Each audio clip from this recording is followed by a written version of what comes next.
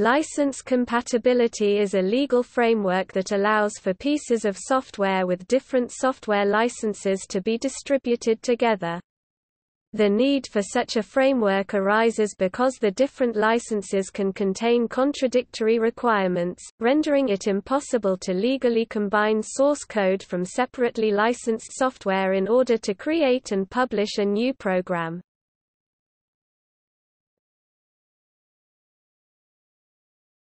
Topic: Definitions. License compatibility can be defined around the concepts of collective, combined, aggregated work, and derivative work. The first, collective work, License compatibility definition allows the usage of variously licensed works in a combined context, the characteristic of two or more licenses according to which the codes distributed under these licenses may be put together in order to create a bigger distributable software. Emphasis added A stronger definition includes the capability to change the license. The most prominent example is the copyleft licenses demand that the derived work combined from code under various licenses as whole is applied to the copyleft license. License compatibility, the characteristic of a license according to which the code distributed under this license may be integrated into a bigger software that will be distributed under another license. Emphasis added Topic: Kinds of combined works. A combined work consists of multiple differently licensed parts avoiding relicensing. To achieve a combined work including copyleft licensed components which have a viral property leading potentially to a derived work, proper isolation, separation needs to be maintained. With individually licensed source code files, multiple non-reciprocal licenses such as permissive licenses or own proprietary code can be separated, while the combined compiled program could be re-licensed, but that is not required. Such source code file separation is too weak for copyleft, reciprocal licenses such as the GPL, as they then require the complete work to be relicensed under the reciprocal license as being derivative. A slightly stronger approach is to have separation at the linking stage with binary object code static linking, where all the components of the resulting program are part of the same process and address space. This satisfies weak copyleft, standard reciprocal combined works such as LGPL licensed ones, but not strong copyleft, strong reciprocal combined works. While it is commonly accepted that linking static and even dynamic linking constitutes a derivative of a strong copylefted work, there are alternate interpretations, for combined works with strong copyleft modules, a stronger isolation is required. This can be achieved by separating the programs by an own process and allowing communication only via binary ABIs or other indirect means. Examples are Android's kernel space to user space separation via Bionic, or Linux distro which have proprietary binary blobs included despite having a strong copyleft kernel. While for some domains agreement exists if an isolation is suitable, there are domains in dispute and up to now untested in court. For instance, in 2015 the SFC sued VMware in an ongoing dispute whether loadable kernel modules LKMs are derivative works of the GPL Linux kernel or not.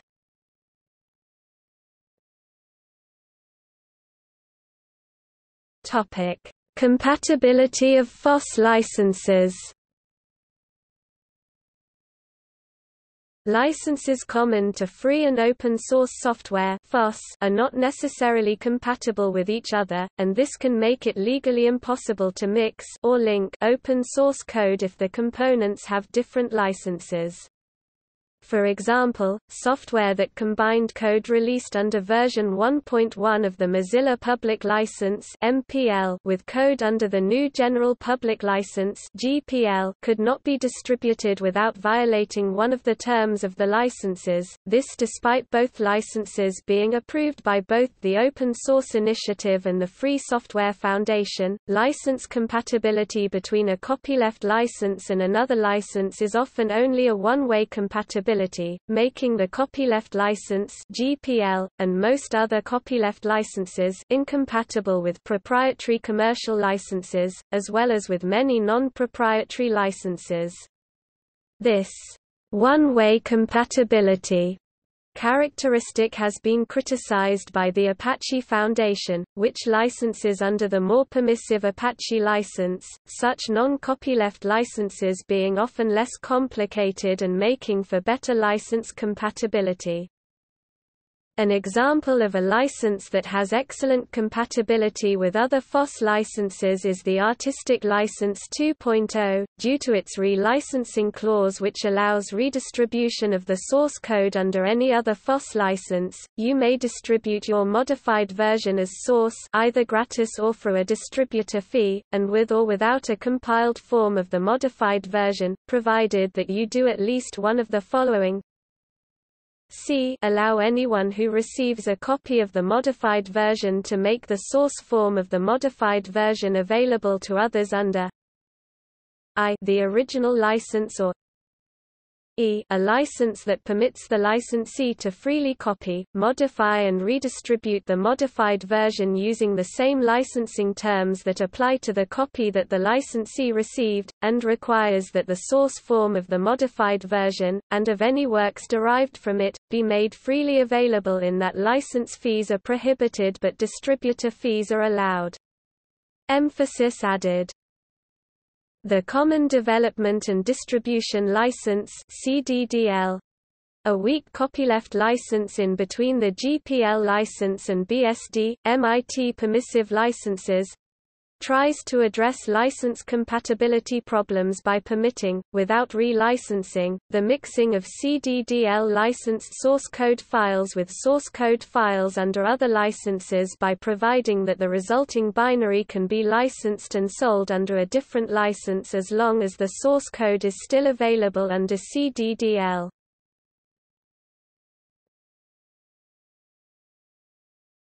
Topic GPL compatibility To minimize license proliferation and license incompatibilities in the FOSS ecosystem, some organizations the Free Software Foundation, for instance and individuals David A. Wheeler, argue that compatibility with the widely used GPL is an important feature of software licenses. Many of the most common free software licenses, especially the permissive licenses, such as the original MIT, X license, BSD licenses in the three-clause and two-clause forms, though not the original four-clause form, MPL 2.0, and LGPL, are GPL compatible. That is, their code can be combined with a program under the GPL without conflict, and the new combination would have the GPL applied to the whole but the other license would not so apply.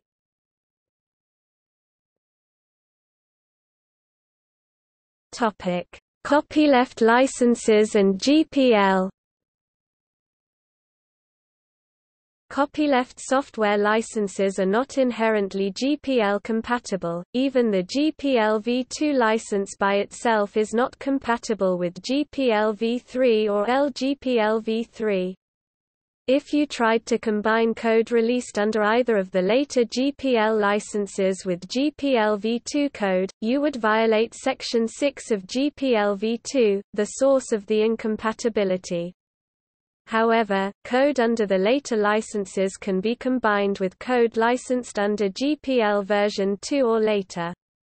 Most software released under GPL v2 allow you to use the terms of later versions of the GPL as well, and some have exception clauses that allow combining them with software that is under different licenses or license versions. The Linux kernel is a notable exception that is distributed exclusively under the terms of GPL v2.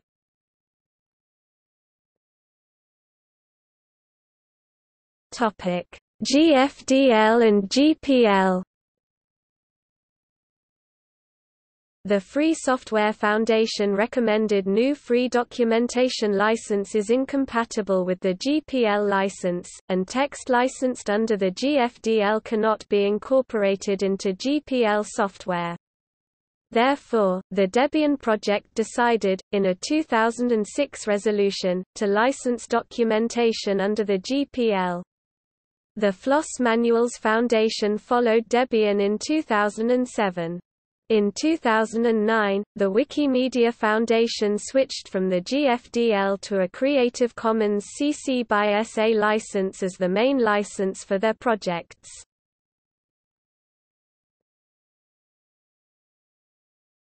CDDL and GPL Another case where GPL compatibility is problematic is the CDDL licensed ZFS file system with the GPL v2 licensed Linux kernel. Despite that both are free software under a copyleft license, ZFS is not distributed with most Linux distro like Debian but is distributed with FreeBSD as the CDDL is considered incompatible with the Gplade Linux kernel, by the Free Software Foundation and some parties with relations with the FSF. The legal interpretation, of if and when this combination constitutes a combined work or derivative work of the G-pled kernel is ambiguous and controversial. In 2015, the CDDL to GPL compatibility question re-emerged when the Linux distribution Ubuntu announced that it would include OpenZFS by default. In 2016, Ubuntu announced that a legal review resulted in the conclusion that it is legally safe to use ZFS as a binary kernel module in Linux. Others accepted Ubuntu's conclusion, for instance lawyer James E. J. Bottomley argued, "...a convincing theory of harm cannot be developed, making it impossible to bring the case to court." Eben Moglen, co-author of the GPLv3 and founder of the SFLC, argued that while the letters of the GPL might be violated the spirit of both licenses is adhered to, which would be the relevant issue in court. On the other hand, Bradley M. Kuhn and Karen M. Sandler, from the Software Freedom Conservancy, argued that Ubuntu would violate both licenses, as a binary ZFS module would be a derivative work of the Linux kernel, and announced their intent to achieve clarity in this question, even by going to court.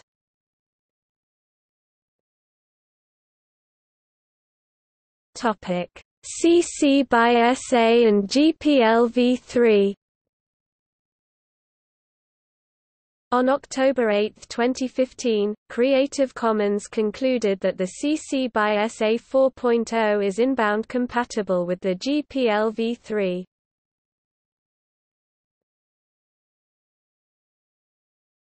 Topic: Creative Commons license compatibility The Creative Commons licenses are widely used for content, but not all combinations of the seven recommended and supported licenses are compatible with each other. Additionally, this is often only a one-way directional compatibility, requiring a complete work to be licensed under the most restrictive license of the parent works.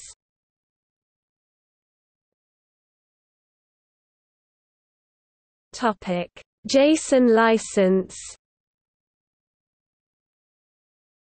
JSON developer Douglas Crockford, inspired by the words of then-President Bush, formulated the "evil doers" JSON license. The software shall be used for good, not evil in order to open source the JSON libraries but also to force troll corporate lawyers or those who are overly pedantic to pay for a license from the state. The subjective and moral license clause led to license incompatibility problems with other open-source licenses, and resulted in the JSON license not being a free and open-source license.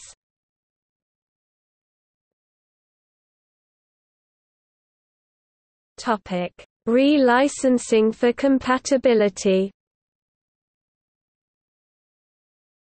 Sometimes projects wind up with incompatible licenses, and the only feasible way to solve it is the relicensing of the incompatible parts. Relicensing is achieved by contacting all involved developers and other parties and getting their agreement for the changed license. While in the free and open source domain achieving 100% agreement is often impossible, due to the many contributors involved, the Mozilla relicensing project assumes that achieving 95% is enough for the relicensing of the complete code base.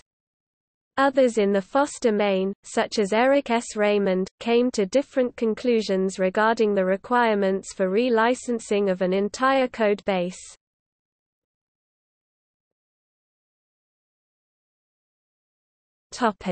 Relicensing examples. An early example of a project that successfully relicensed for license incompatibility reasons is the Mozilla project and their Firefox browser. The source code of Netscape's Communicator 4.0 browser was originally released in 1998 under the Netscape Public License, Mozilla Public License but was criticized by the Free Software Foundation (FSF) and OSI for being incompatible with the GNU General Public License (GPL). Around 2001 Time Warner, exercising its rights under the Netscape public license, and at the request of the Mozilla Foundation, re-licensed all code in Mozilla that was under the Netscape public license including code by other contributors to an MPL 1.1, GPL 2.0, LGPL 2.1 tri-license, thus achieving GPL compatibility. The Vorbis library was originally licensed as LGPL, but but in 2001, with the endorsement of Richard Stallman, the license was changed to the less restrictive BSD license. To accelerate the library's adoption, the VLC project has a complicated license history due to license incompatibility, and in 2007 the project decided, for license compatibility, to not upgrade to the just released GPL v3. In October 2011, after the VLC had been removed from the Apple App Store at the start of 2011, the VLC project re-licensed the VLC library, from the GPL v2 to the LGPL v2, to achieve better compatibility. In July 2013, the software relicensed under the Mozilla Public License. The VLC application would then be resubmitted to the iOS App Store. The Free Software Foundation's GNU free documentation license version 1.2 is not compatible with the widely used Creative Commons Attribution Sharealike license, which was a problem for Wikipedia, for instance. Therefore, at the request of the Wikimedia Foundation, the FSF added a time-limited section, to version 1.3 of the GFDL, that allowed specific types of websites using the GFDL to additionally offer their work under the CC by SA license. Following this, in June 2009, the Wikimedia Foundation migrated their projects Wikipedia, etc. by dual licensing to the Creative Commons Attribution Sharealike as its main license, in addition to the previously used GFDL, so as to have improved license compatibility with the greater free content ecosystem. Another interesting case was Google's relicensing of GPL v2 licensed Linux kernel header files to the BSD license for their Android library Bionic. Google claimed that the header files were clean of any copyright-able work, reducing them to non-copyrightable facts, and thus not covered by the GPL. This interpretation was challenged by Raymond Nimmer, a law professor at the University of Houston Law Center. In 2014, the FreeCAD project changed their license from GPL to LGPL v2, due to GPL v3, GPL v2 incompatibilities. Also in 2014, Gang Garrison 2 was relicensed from GPL v3 to MPL for improved library compatibility.